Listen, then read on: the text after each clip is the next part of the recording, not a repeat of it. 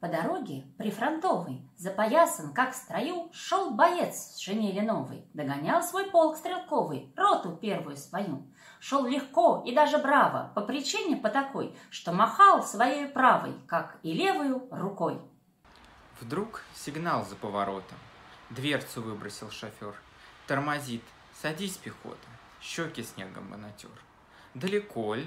На фронт, обратно. Руку вылечил. Понятно. Не герой? Пока мест нет. Доставай тогда кисет. Грузовик гремит трехтонный. Вдруг колонна впереди. Будь ты пеший или конный, а с машиной стой и жди. С толком пользуйся стоянкой. Разговор не разговор. Наклонился над баранкой. Смолк шофер. Заснул шофер. Сколько суток полусонных, сколько верст пурге слепой На дорогах занесенных он оставил за собой. От глухой лесной опушки до невидимой реки Стали танки, кухни, пушки, тягачи, грузовики, Легковые, криво-косо, в ряд не в ряд, вперед, назад, Гусеницы и колеса на снегу еще визжат. На просторе ветер резок. Зол мороз вблизи железа. Дует в душу, входит в грудь. Не дотронься как-нибудь. Вот беда, во всей колонне Завалящей нет гармонии, А мороз не стать, не сесть. Снял перчатки, трет ладони, Слышит вдруг. Гармонь-то есть.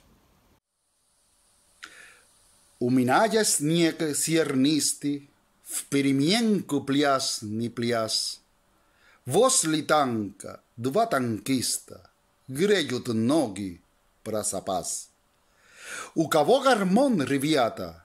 Да надо из диеса, браток. Оглянулся виновато. На водитель есть стрелок. Так сыграть буй на дорожку? Да сыграть оно не вред. Шонже дела, чья гармошка, чья вилата вот, брат, нет. И сказал уже водитель, вместо друга своего, командир наш был увидел. Схранили мы его. Так с неловкою улыбкой Поглядел боец вокруг, Словно он кого ошибкой Нехотя обидел вдруг. Поясняет осторожно, Чтоб на том покончить речь. Я считал, сыграть-то можно, Думал, что ж ее беречь. А стрелок, вот в этой башне Он сидел в бою вчерашнем, Трое были мы друзья. Да нельзя, так уж нельзя, Я ведь сам понять умею, Я вторую, брат, войну, И ранение имею, и контузию одну. И опять же, посудите, может, завтра с места в бой. Знаешь что, сказал водитель, ну, сыграй ты, шут с тобой. Только взял боец трехрядку, сразу видно, гармонист. Для начала, для порядку кинул пальцы сверху вниз. Позабытый деревенский вдруг завел глаза, закрыв стороны родной Смоленской. Грустный памятный мотив. И от той гармошки старой, что осталась сиротой, Как-то вдруг теплее стало на дороге фронтовой. От машин заиндивелых шел народ, как на огонь. И кому какое дело, кто играет, чья гармонь. Только двое тех танкистов, тот водитель и стрелок, все глядят на гармониста, словно что-то невдомек. Что-то чудится ребятам, снежный крутится пыли, будто виделись когда-то, словно где-то подвезли.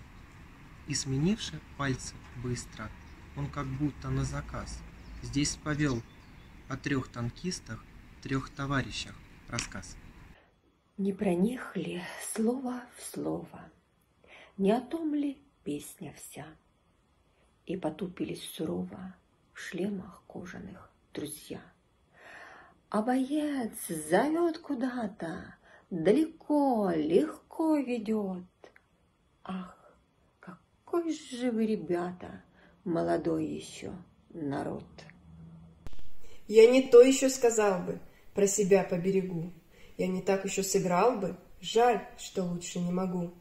Я забылся на минутку, заигрался на ходу. И давайте я на шутку это все переведу.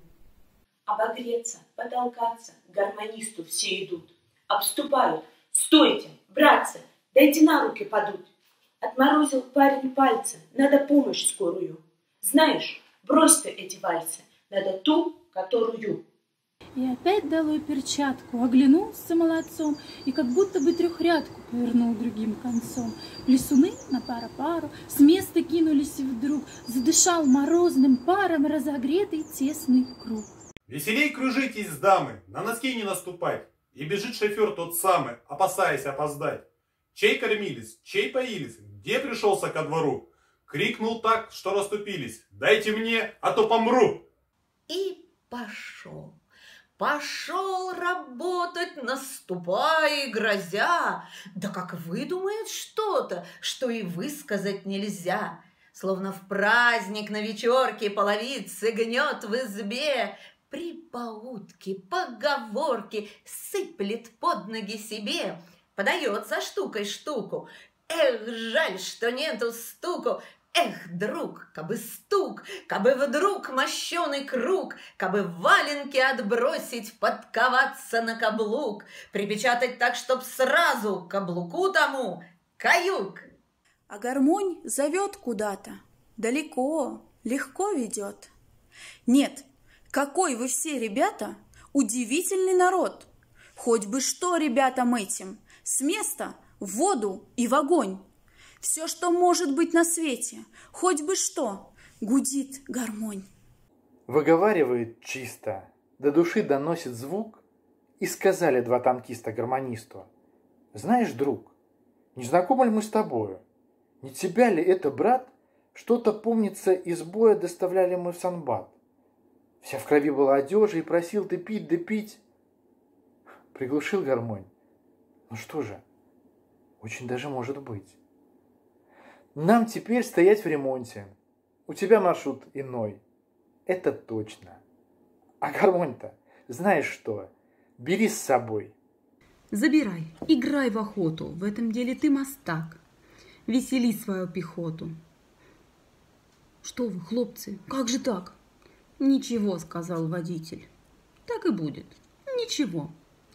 Командир наш был любитель. Это память про него и с опушки отдаленной, из-за тысячи колес. Из конца в конец колонны по машинам донеслось.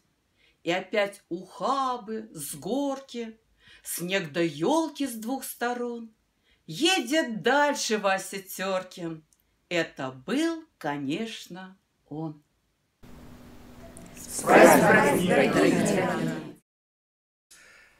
Дорогие ветераны, праздником!